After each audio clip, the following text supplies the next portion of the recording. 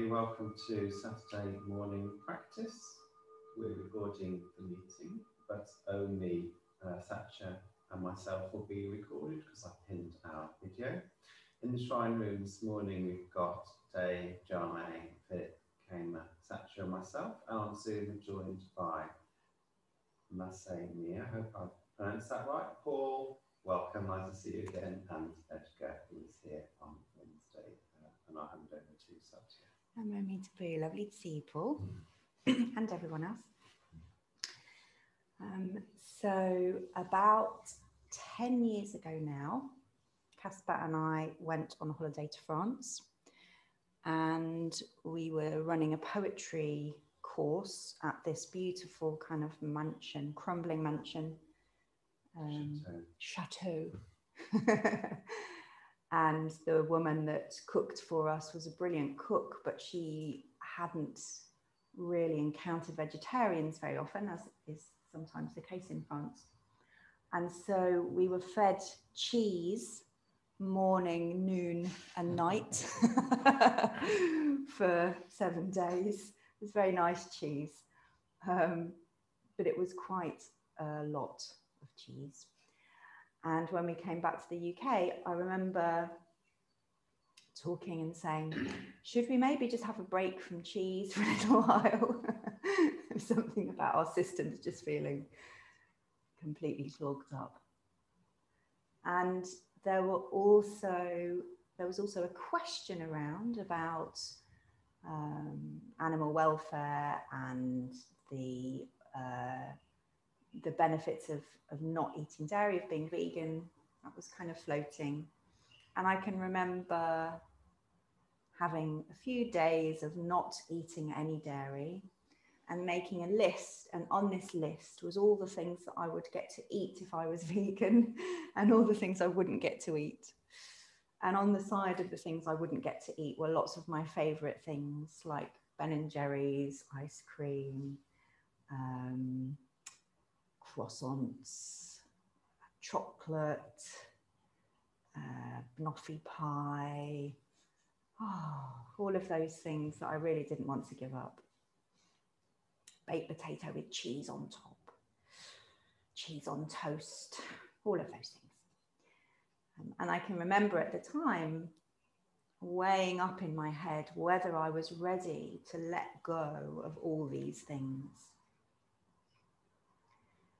And because we'd already been kind of dairy free for a few days or a week at that point, and we were quite enjoying our food, realizing how much there was left to eat, uh, I happened to have a video from the Vegan Society uh, DVD about um, about veganism and about why people are vegan, and we watched it. And I can remember crying at the end of the video. It was very well done. It wasn't sort of shock horror. It was just some facts and because I was already eating a vegan diet and it felt doable, that was the moment at which I became vegan, and there was no turning back from that.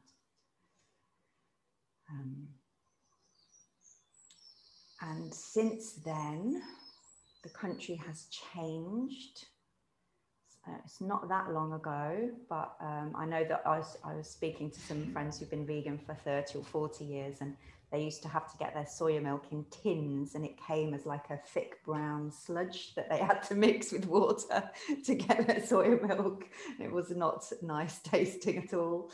Um, these days we get to choose from a million different plant milks and uh, Haagen-Dazs and Ben and Jerry's. And this morning, before practice, I went over to the, ba- the bakery just over the road from here and bought um, some of the most amazing almond croissants you've ever tasted in your life.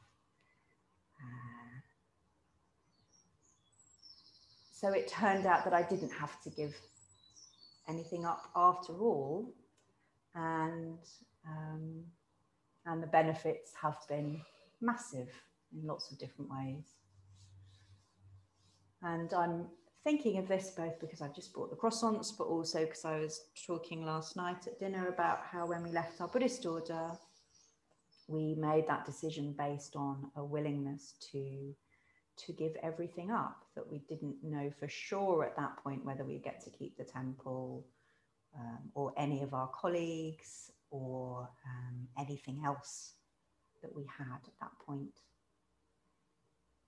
And that's worked out pretty well as well, all, all things considered. And of course, it doesn't always work out that way. Sometimes, when we are willing to give everything up, we do lose everything. But there is a huge freedom in,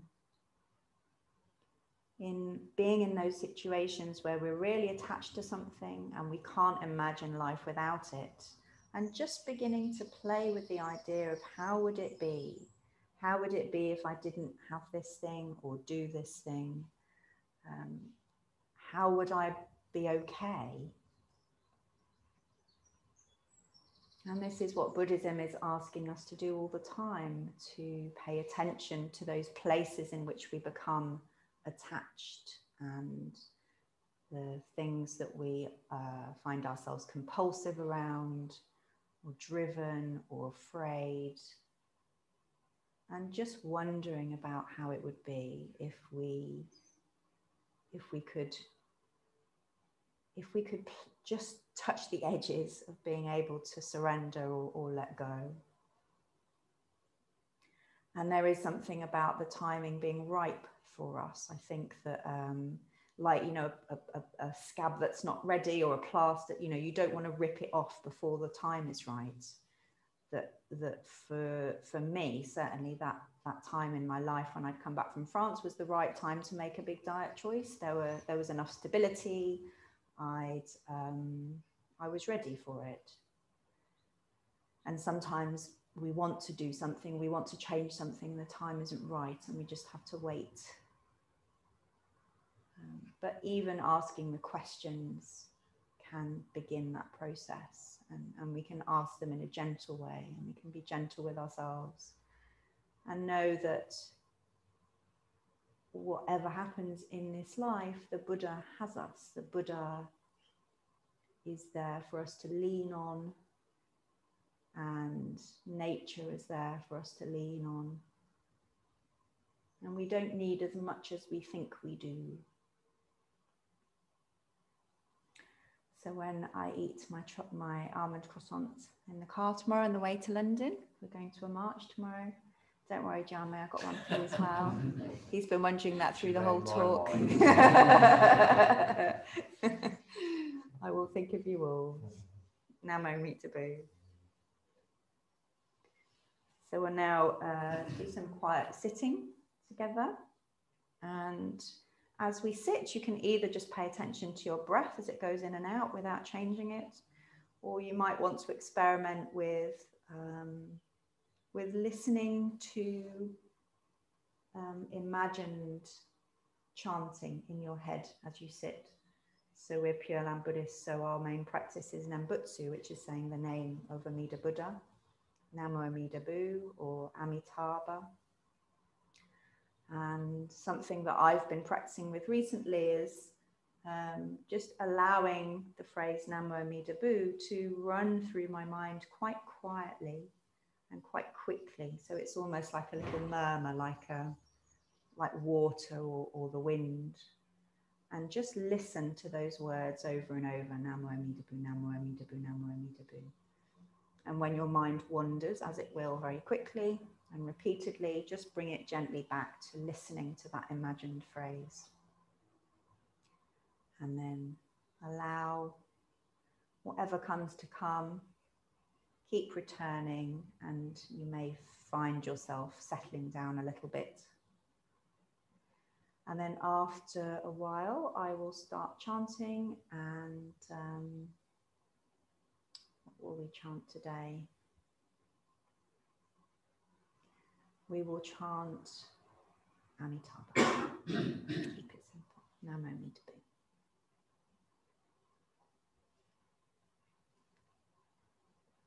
Thank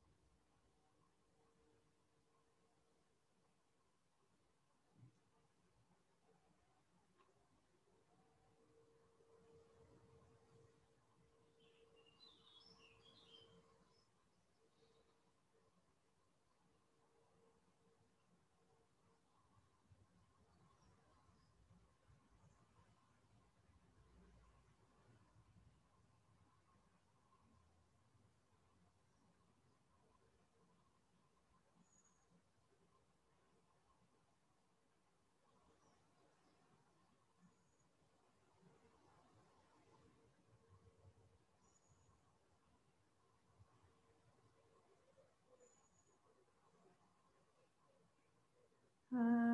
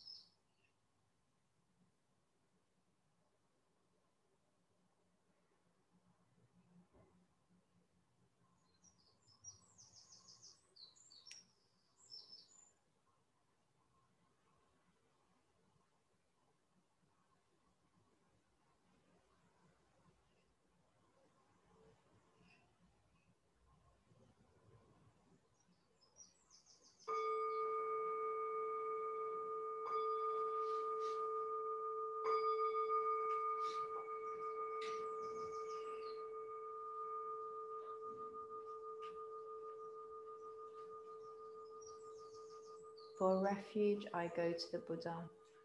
For refuge, I go to the Buddha. Namo Buddhaya. Namo Buddhaya. For refuge, I go to the Dharma. For refuge, I go to the Dharma. Namo Dharmaya. Namo Dhammaya. For refuge, I go to the Sangha.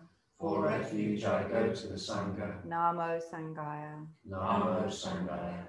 With faith in the three jewels, With faith in the three jewels, I pray that I may not take life.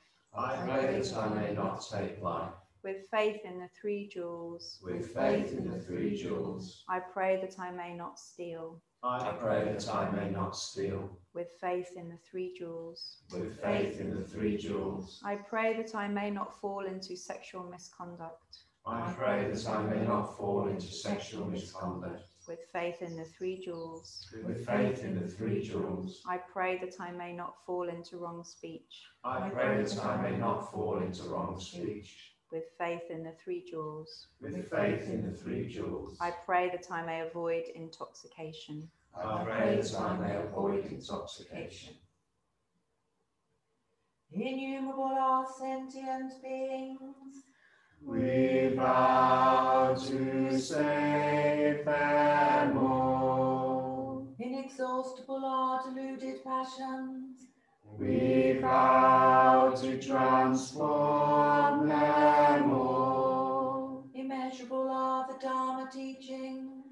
We vow to master them all. Infinite is the Buddha's way. We vow to fulfill it completely.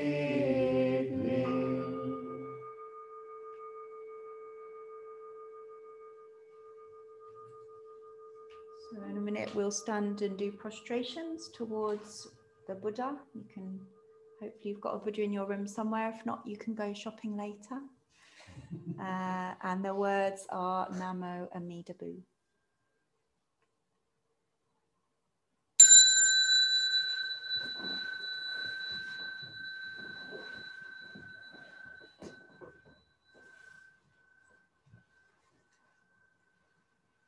Hello.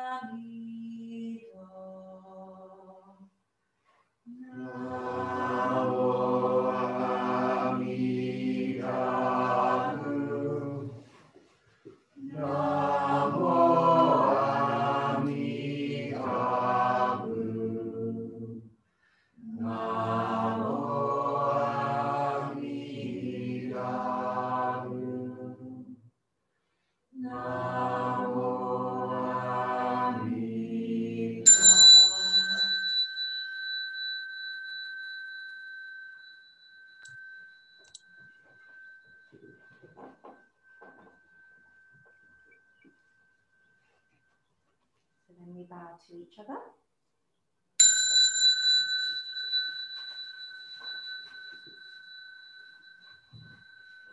And then we bow to the Buddha.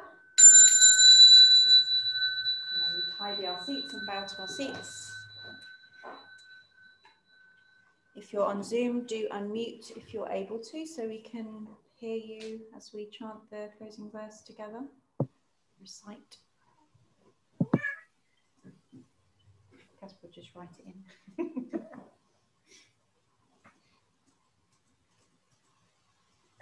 just while we're waiting to say about the bowing, the bowing to each other, we only turn to our left and to our right, but it looks a bit confusing because I sometimes bow to the people on Zoom.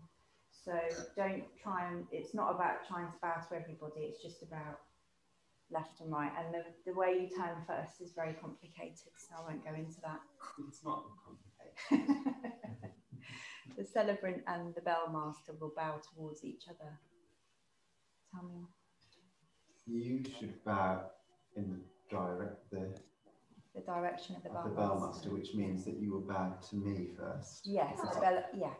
But You're if in I'm, between me and the bell but if master. I'm the celebrant, I'll bow to the bell master first. You're right, it is complicated. now move me to boo. When I'm I just- It's that system, It yeah, is, it's fine. it's right. the celebrant and the bell master bow towards each other. There's someone in between, and that's what happens. Anyway, let's not talk about it today. We've got other things to do. So let's all close with the um, the verse. Blessed by Amitabha's light, May we care for all living For living things. things. Holy earth. Earth. No me to do. Is that Grace or Michael? Like, that's Gracie.